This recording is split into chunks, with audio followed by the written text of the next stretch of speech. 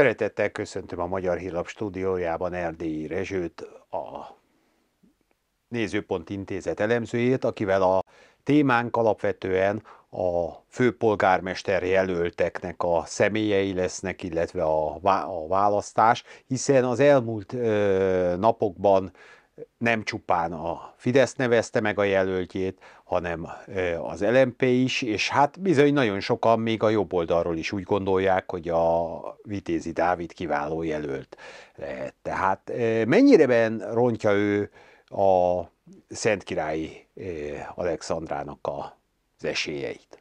Valóban a kérdés mindig úgy merül fel, hogy kinek az esélyeit rontja ő igazán. Mert hogy Vitézi Dávid, mint közlekedési szakember, és olyan ember, aki Karácsony Gergelytől eltérően tényleg szakember, és ért valamihez, még hogyha, ahogy Tarlós István meg is fogalmazta, a közlekedésen kívül igazán máshoz nem, máshoz nem ért, de ahhoz viszont nagyon. A, alapvetően azért én azt gondolom, hogy Karácsony Gergelynek a, a Karácsony Gergely számára kellemetlenebb jelölt. Nyilvánvalóan vihet el jobboldali szavazatokat is, tehát a Fidesztől is vihet el szavazatokat, de alapvetően én az ő megjelenésének a, a helyzetét, azt abban látom, annak a fontosságát abban látom, hogy meg tud szólítani olyan egyébként a kormányjal nem szimpatizáló budapestieket, mert hát ezért itt mégiscsak egy budapesti főpolgármester választásról beszélünk, akik, mondom még egyszer, nem elégedettek a kormánynak a tevékenységével, de nem elégedettek Karácsony Gergelynek a tevékenységével sem, hiszen mit látnak? Egy, gyakorlatilag nem történik tevékenység, hiszen az elmúlt négy-négy és fél évben egy ilyen pótcselekvés jellegű dolog történt a Budapesten, Karácsony Gergelyen keresztül. A másik pedig az, hogy alapvetően Karácsony Gergely egy ilyen, hogy mondjam, tehát fogja a saját politikai rendszerének, hogyha úgy tetszik. Nézzünk rá a fővárosi közgyűlésnek az összetételére. A Gyurcsány Ferenc pártja nélkül ő semmit nem tud csinálni. És ezt nyilván ki is használja a DK, bolond lenne nem kihasználni, mégiscsak ők mondhatják ki a végső szót minden egyes kérdésben. És ebbe az állóvízbe robbant be először uh, Szent Királyi Alexandra, majd pedig Vitézi Dávid. Uh, ugye vannak más kihívók is, tehát van a mi hazánknak is saját jelöltje, a Jobbiknak is saját jelöltje, de hogyha megnézzük a közvéleménykutatásokat, megnézzük a számokat, ők azért olyan nagyon sok vizet nem fognak zavarni ebben a, a választásban. De én azt emelném ki, mert szerintem az a fontos ebből a szempontból, hogy kinek mik a témái. Tehát, hogyha megnézzük, akkor Karácsony Gergely igazából én nem nagyon látom tőle azt, hogy valamilyen konkrét témákat vinne. Nehéz is lenne pont azért, amit elmondtam, hogy ő igazából fogja egy ilyen politikai alkunak. Vitézi Dávid kifejezetten szakpolitikai témákkal kezdett el kampányolni, ráadásul olyan témákkal kezdett el kampányolni, amikkel 2019-ben Karácsonyi Gergely is, mire gondolok, közlekedés, lakhatás, és a többi, és a többi. Tehát ezek, a, ezek ha úgy tetszik, a Karácsonyi Gergelynek a, a témái. A Szent Király Alexandra, ő világosan kimondta azt, amit egyébként mindenki lát Budapesten, hogy nem Karácsony Gergely irányítja valójában a fővárost, hanem Gyurcsány Ferencnek az embereivel van ő körülvéve, ők be vannak betonozva, és nagyjából a DK minimum hallgatólagos beleegyezésen nélkül a Városházán semmi nem történhet. És innentől kezdve az lesz az érdekes, hogy lesz egy háromosztatú verseny, amiben azért zárójelben tegyük hozzá, hogy mivel háromosztatú verseny van, ezért relatív többséggel is lehet nyerni, tehát nem kell az 50 százalék. Jelen állás szerint, ugye nem tudjuk, hogy lesznek-e visszalépések, ha lesznek, akkor hogy lesznek, de, de alapvetően itt az lesz a kérdés, hogy Vitézi Dávid ki tud megszólítani. Nyilván a, a hardcore ellenzéki szavazókat Karácsony Gergely meg fogja tudni szólítani, ebben egy pillanatig nem lesz kérdés. A, a Fidesznek a magszavazóit Szent Király Alexandra meg tudja szólítani, ebben sincs kérdés. Az a kérdés, hogy Vitézi Dávid ebből a két tömbből valamennyit nyilvánvalóan elvisz, de meg tud szólítani újakat. Mert hogyha meg tud szólítani olyanokat, akik nem elégedettek egyik oldallal sem, nem kérnek egyik jelöltből sem, tehát sem Szent Király Alexandrából, sem Karácsony Gergelyből, akkor még arra is lehet esélye, hogy egy szoros versenyt fusson be ezen a pályán, és akár néhány szavazat is dönthet majd a főpolgármester választáson. Egyébként Vitézi Dávidnak mennyire vannak reális esélyei, főleg annak tükrébe, hogy ma is például bejelentette, hogy ő tulajdonképpen a az összes városházi cég felügyelő bizottságából a pártpolitikusokat száműzni, és hát egy tulajdonképpen szakértői társasággal vezetné a fővárost. Na most hát lényegileg pártpolitikusok fognak polgármesterként és egyéb módon is bekerülni. Tehát a kompenzációs listák, vagy bármilyen módon. Mennyire van annak esélye, hogy ő itt tulajdonképpen felülemelkedjen ezen a párt szimpátián? Nagyon nehezemre esne Vitézi Dávid nevét és a populizmus kifejezést egy mondatban használni, de azért mégiscsak azt kell mondanom, hogy ez egy nagyon jól hangzó, egy nagyon jól csengő és egy, egy nagyon populista ígéret, hogy majd én kitakarítom a, a pártpolitikusokat az ilyen-olyan cégvezetésekből. Nyilvánvalóan ő is tisztában van vele, hogy pártpolitikusok nélkül politizálni nem lehet. Nem véletlen, hogy ugye mögötte is áll egy párt, az LMP, még hogyha ez nem is egy jelentős támogatottságú párt, bár mondjuk azok után, hogy Karácsonyi Gergely mögött a szintén nem túl acélos párbeszéd áll, ez, ebből talán ne csináljunk problémát, de, de nyilvánvalóan ő az egész kampányát, az egész politikai krédóját arra építi, hogy pártpolitikai csatározások helyett szakmai munkát kell végezni Budapesten. Nekem meggyőződésem, hogy van az a választói réteg Budapesten, aki erre a mondatra, erre rezonál. És azért rezonál, mert nem tetszik neki az, hogy ténylegesen itt, itt egymásra mutogatás van.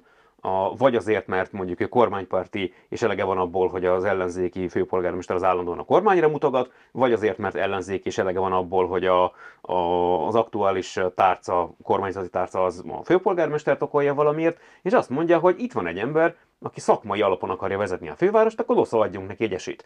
Tehát ez egy, ez egy olyan ígéret, amit én nem merném biztosan mondani, hogy be lehet váltani.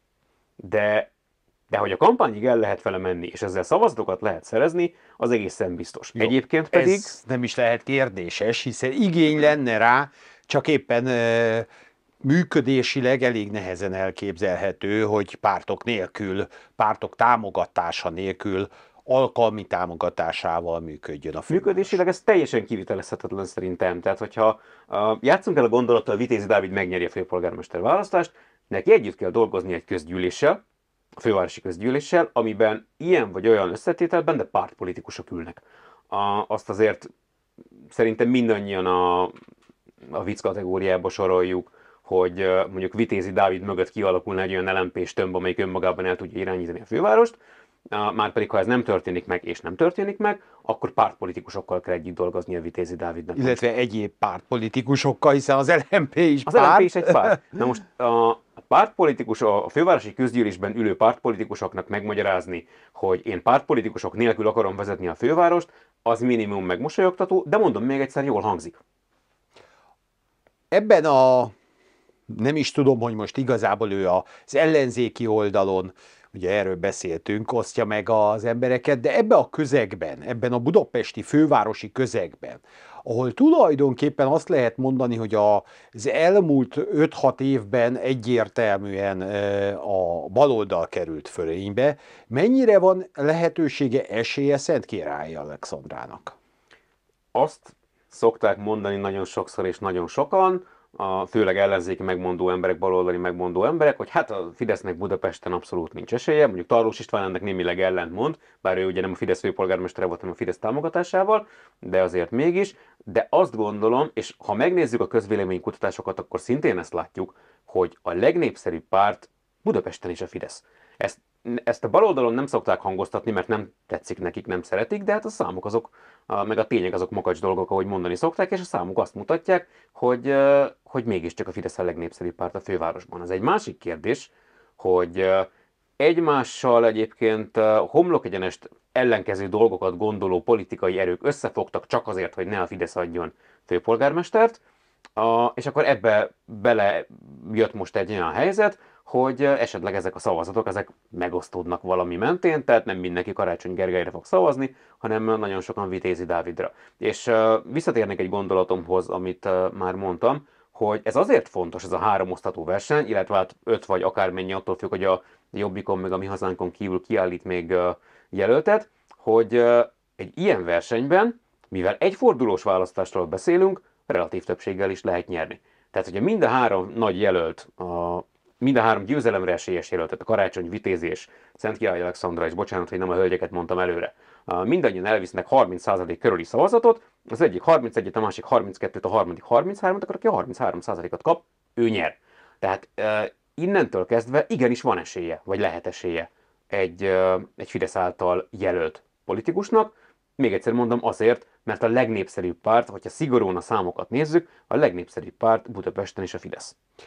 Elképzelhetőnek tartja, hogy lényegileg ugye megindultak úgymond a, az alkuk elsősorban Budapesten, még a két farkú kutyapárt is beállt ebbe az alkú versenybe, hiszen megüzenték azt, hogy amennyiben a hegyvidéken hagyják az elnöküket, vagy mögéjük állnak, akkor ők másút nem fognak kellemetlenkedni.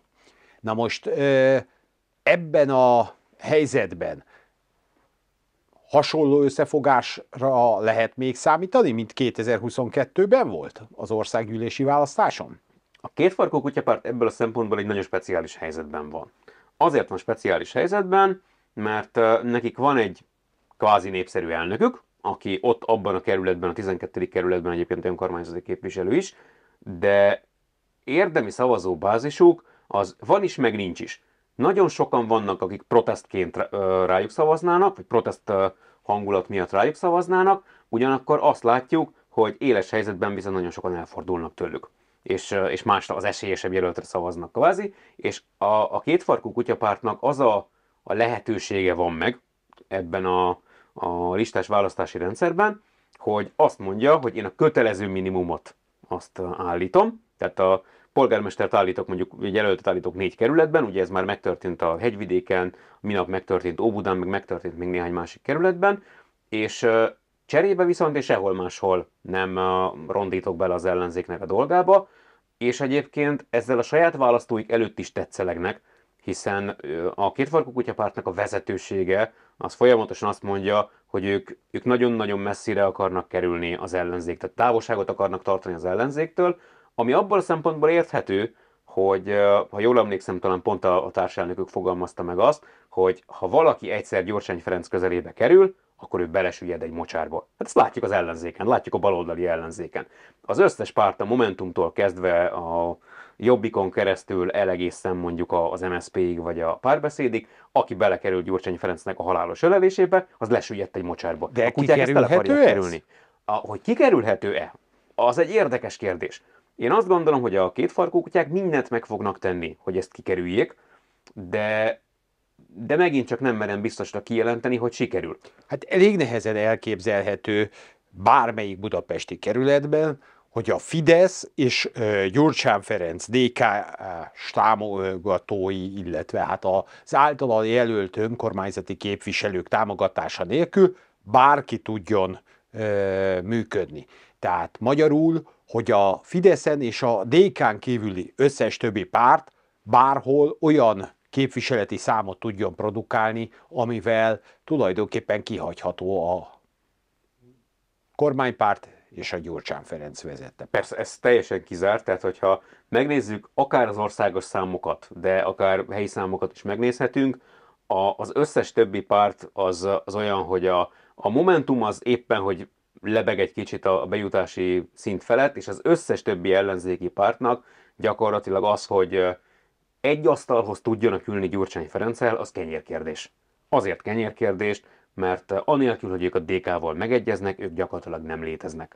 Tehát a LMP párbeszéd, mondjuk az LMP most pont igyekszik külön utaskodni, de ugye ennek Vitézi Dávid lehet egy felhajtó ereje, de ha megnézzük a párbeszédet, megnézzük az MSZP-t, ők ilyen néhány százalékon állnak országosan is, meg, meg helyi szinten is. Tehát, hogy uh, teljesen kizárt már csak matematikailag is, hogy bárhol az ország, nem csak Budapesten az országban egy olyan koalíció összejön, amiből akár a Fideszt, akár a demokratikus koalíciót ki lehet hagyni, mert ezt mutatják a számok, mert ilyen a választói akarat.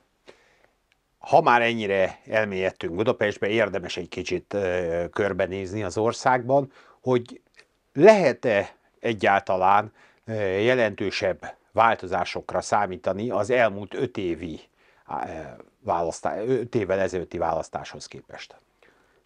Az egy, az egy közhely politológiában, hogy rövid a választói emlékezet. Pedig nem ártana, hogyha egy kicsit hosszabb lenne sok tekintetben, Mert ha megnézzük a vidéki városokat, mondok egy nagyon egyszerű példát, Eger, de egyébként több ilyet is lehetne mondani. 2019-ben megválasztottak egy ellenzéki polgármestert egy ellenzéki többségi közgyűléssel. A, az ellenzéki közgyűlésnek a, az együttműködése az rettentő hamar összeomlott, a közgyűlés és az akkor jobbikos, azóta már független polgármester Mirkóczki Dávid közötti a viszony az nagyon-nagyon hamar megromlott, és továbbra is nagyon sokan kitartanak amellett, hogy mégiscsak együtt kell indulni az ellenzéknek. És erre mondom én azt, hogy nem ártana, ha hosszabb lenne a választói emlékezet, hogy az olyan városokban, mint mondjuk Eger, ahol nyilvánvalóan látszik, hogy működésképtelen az ellenzéki együttműködés, ott, ott lehet, hogy mégiscsak kifizetődőbb lenne egy olyan pártra, pártszövetségre, vagy a fidesz kdnp re bízni az adott városnak az irányítását, amelyről tudják azt a választópolgárok, hogy nem fognak ma holnap szétesni és működésképtelenné tenni a várost. De ez innentől kezdve annak a kérdése is, hogy mondjuk adott szemében mennyire hisznek, adott szemében mennyire bíznak meg, az adott városban mekkora beágyazottsága a, különböző ellenzéki pártoknak, milyen jelöltjeik lesznek, akár a kormánypártoknak, akár az ellenzéki pártoknak. Az ellenzéki pártok ők akarnak-e tárgyalásos úton, vagy akarják-e tárgyalásos úton lerendezni a jelölteknek a kérdését, a jelölteknek a sorsát, vagy előválasztást akarnak tartani. Nagyon-nagyon sok mindentől függ, de én ezzel együtt jelentős változásra nem számítok. Ugye az ellenzéki politikusok azt szokták mondani, hogy nekik az lenne a minimális elvárás, hogy megtartsák azokat a kerületeket és városokat, amikben ők 2019-ben polgármestert közgyűlési többséget vagy mindkettőt adtak. Azt sem tartom egyébként kizártnak, hogy ezek közül néhányat, főleg vidéki városok esetében a Fidesz visszaszerez. Budapesten nem? A Budapest egy nehezebb téma, nehezebb De terep. úgy tűnik, hogy azért itt is vannak olyan kerületek, amelyekben ö, akár Óbudát is nevezhetjük, ö, nagyon nyíltanak tűnik a Vannak verseny. a Fidesz szempontjából biztató kerületek, és én is a budai régióra a, mutatnék itt, és nem csak Óbuda egyébként. Óbudán a, mondjuk Busz Balázsnak az újraindulása, az egy kifejezetten biztató jel a Fidesz szempontjából. Emlékezzünk vissza, hogy 2019-ben általános meglepetésre egyébként Kis László a, akkor még MSZP és ma már DK-s polgármester 0,6%-kal nyert Bush Balázs fel. Tehát ez, ez egy abszolút minimális a mars volt, és Bush Balázs pedig egy sikeres polgármestere, alpolgármestere, majd polgármestere volt nagyon sokáig a kerületnek. De hasonló a helyzet egyébként az első és a második kerület esetében is. Ugye a második kerületben egy kvázi párton kívüli személlyel indul a Fidesz, aki integrálni tud olyan szavazókat is, akik mondjuk nem feltétlenül kormánypárti érzelműek, de mondjuk nincsenek megelégedve Sigergelynek a, a munkájával. Az első kerületben azért azt látjuk és tudjuk, hogy Vénaszály Márta körül azért különböző, hát meglehetősen kényes ügyek kezdenek el kibontakozni, a, ugye időközi választást és időközi önkormányzati képviselő választást is nyert a Fidesz. Tehát az első, a második és a harmadik kerületben én abszolút látom a, a potenciált, hogy ezeket a, a Fidesz visszaszerzi, de sokkal nagyobb potenciált látok mondjuk adott vidéki városokban. Ezzel együtt... Például Miskolc? Akár Miskolc, akár a már említett Eger, de én állítom, hogy Budapest sem egy elveszett hely ebből a szempontból, hiszen vannak a fideszes kerületi és sikeres fideszes kerületi polgármesterek, és nyilván ezt a mintát ezt, ezt lehet továbbvinni a 2024-es választásokra is.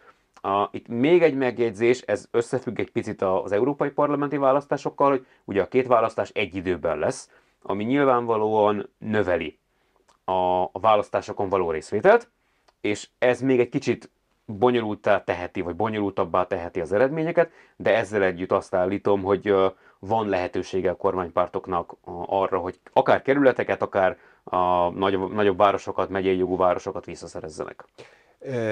Mire számít? Igazából ez az összevont önkormányzati választás gyakorlatilag a hiszen az uniós választáson általában ilyen 45% körül szokott lenni a választási kedv, 55-60% környékén az önkormányzati. Ez az összevonás tulajdonképpen még több mozgósítással járhat, tehát akár 60-65%-ot is elérhet a választóked, vagy pedig igazából itt a kettő között várható, tehát a 45-55 százalék között. Meggyőződésem, hogy a kettő között várható, de közelebb az önkormányzatihoz, mint az európai parlamentihez. Megmondom azt is, hogy miért gondolom ezt. A, a brüsszeli, vagy hát Strasburgi, attól függ, hogy éppen hol ülésezik a, a parlament, a, az Európai Uniós politikáról nagyon sok ember úgy gondolkodik, hogy hát az messze van. Az minket annyira nem érint. El vannak ott az Európai Parlamentben a, a, a politikusok, és csinálnak, amit csinálnak. Na de az, hogy ki a kerület vagy a város polgármestere, ki az adott körzetnek a képviselője, az, az sokakat sokkal jobban érdekel. Hogy ebben a választópolgároknak igazuk van, vagy nincs igazuk, abba nem menjünk bele, abban ne tegyünk igazságot. Már csak azért sem, mert az Európai Uniós politika is igenis befolyásolja a mindennapjainkat, főleg amikor olyan kérdésekről hoznak határozatokat az EP-ben, mint a migráció vagy éppen a gender kérdés, ami látjuk Nyugat-Európában, hogy hova vezet, és szerintem a józanul gondolkodó emberek látják, hogy Közép-Kelet-Európa és benne Magyarország nagyon nem kellene, hogy oda jusson, ahova ezek a kérdések elvezették Nyugat-Európát, de ezzel együtt azt gondolom, hogy az önkormányzati választásokon általánosan mért a választás, választási részvételt nem fogjuk meghaladni, de én azt is egy nagyon pozitív dolognak gondolom, hogyha az összevonásnak köszönhetően az európai parlamentinél jóval magasabb a választási részvétel a, alakul ki és lehetséges, mert azért mégiscsak azt szokták mondani, hogy a demokrácia, a, a választások napja az a demokrácia ünnepe, és minél nagyobb a részvétel, ez az ünnep, ez, ez annál nagyobb, és akkor emellé már csak egy zárójeles megjegyzés, hogy egyébként a piszkos anyagiak is a közrejátszanak ebben a kérdésben, hiszen különböző becslések, de azt mondják a, az ehhez értők, hogy a három kötőjel 6 milliárd forintot lehet spórolni azzal, hogy a kettő együtt van. Mi lepné meg jobban, ha Karácsony Gergely maradna, vagy ha Szent Királyi Alexandra nyerne? Ez azért egy érdekes kérdés, mert Karácsony Gergely mögött van egy, egy nagyon nehéz négy és fél év.